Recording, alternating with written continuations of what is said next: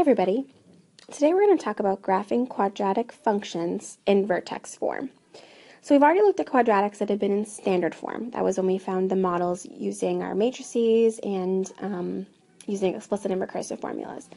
So today we're going to take a look at when the quadratic is written in vertex form.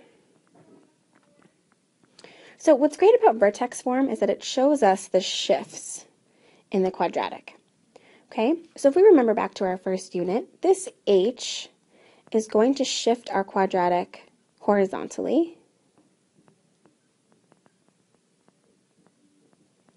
Okay, and that k is going to shift our quadratic vertically. So we always want to start with that. That's really great because if I'm going to start at zero and I'm going to shift something horizontal and vertical, in a quadratic, that's actually going to give me my vertex, h comma k. Now remember that when you shift horizontally, you have a um, function that's shifting horizontally. That is going to take you to the left and to the right, but it's always opposite. So you have to watch out for that when we do these examples. Now that a value is very important in helping us decide what kind of parabola we're going to graph, right? The word parabola means that that is what the quadratic will look like. That's the name of the shape. It's a U shape. So now if a is a positive number, meaning that a is greater than 0, this is going to mean that the parabola will be opening up. Now if a is less than 0, that means that the parabola is going to open down. Okay, so a parabola that opens up will probably look something like this. Okay, it could be in any quadrant, vertex anywhere. If the parabola opened down, it would look something like this. Now, the a value also tells us how wide or steep our parabola is. Okay? Now, the absolute value of the a value will tell us that, right? Because obviously, if a is positive, that means opening up versus opening down. a is negative. So if the absolute value of a is greater than 1, okay, then that's going to make the parabola steep and if the absolute value of a is some sort of fraction, right, meaning that it's between 0 and 1, some sort of proper fraction, then that's going to make it a little bit wider. Okay, so a, parabola that is steep could look something like this, awfully skinny, right? And a parabola that is wide would look something like that. Okay? So when you look at a graph in vertex form, you look at an equation in vertex form. You're looking for the vertex, which you'll see right away, h and k, and then you're looking at the a value, the a value telling you what kind of a shape that parabola is going to be in. So let's take a look at an example. Let's say I have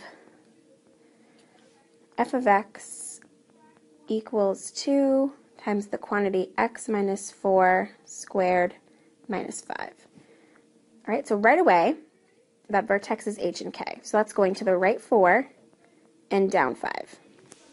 So that vertex is going to be at 4, negative 5 right here. So I'm going to make a table. I'm going to put 4, negative 5 right in the middle of my table because over the line, the vertical line that passes through that point, my quadratic is symmetrical. So I'm going to say that the vertex is going to be in the middle of my table because I'm going to pick some points that are to the left and to the right of the vertex. That way I can get some really nice points for my symmetrical parabola.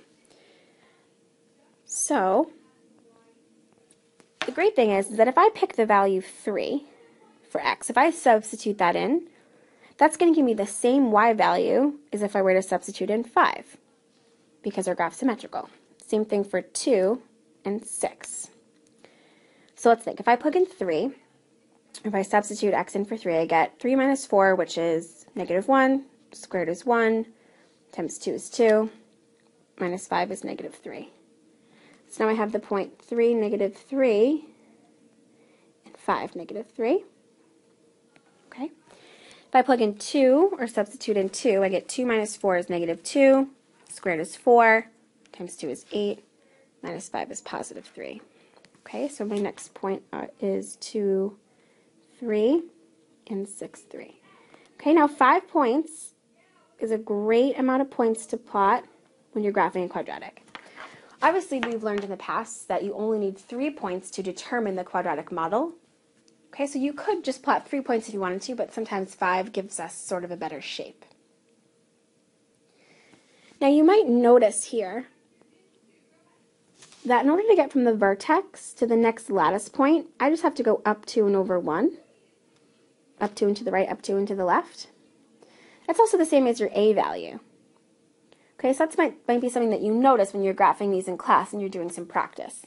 However, this does not work all the time. Okay, so you can't always just go up the A value into the left one or up the A value into the right one. Okay, so you need to be very careful about how you think about that. So now, let's take a look at another example. Maybe we make this one a little bit harder. Let's say that g of x equals negative 1 half quantity x plus 3 squared plus 4. So your vertex is negative 3 comma 4. So plot that first. Okay. That means that my quadratic is symmetrical over the vertical line through that point. Okay, I could even write that, that that is the line x equals negative 3. That's that vertical line. So when to make my table. Okay, we'll put negative 3 comma 4 in the middle. Okay, notice that if I plug in negative 4, that'll be the same as if I were to substitute in negative 2. Same with negative 5 and negative 1. So if I plug in negative 4, I get negative 4 plus 3, which is negative 1. Squared is 1. Times negative a half is negative a half. Plus 4 gives me 3 and a half. Okay, if I substitute in negative 5, negative 5 plus 3 is negative 2. Squared is 4. Times negative a half is negative 2. Plus 4 is 2. So let's plot those. So I get negative 4, sorry, negative 4, 3 and a half is here. Then becomes here, negative 5, 2, and negative 1, 2. So we're noticing that this parabola is wide. Okay? Now, what you should be noticing is that your A value is negative a half. Okay, so that should already tell you that this graph is going to be wide. Now your next lattice point isn't until negative 5, 2, and or negative 1, 2. Okay, so be careful about trying to use that A value as a shortcut. Something to note is that uh, parabolas always have absolute extrema, right? So if the parabola opens up, it's going to have an absolute min. If the parabola opens down, it's going to have an absolute max. Something else that's important, of course, is where the parabola crosses the x-axis. So I can see here that it's going to cross the x-axis twice, okay, because my vertex is in quadrant 2 and it's opening down.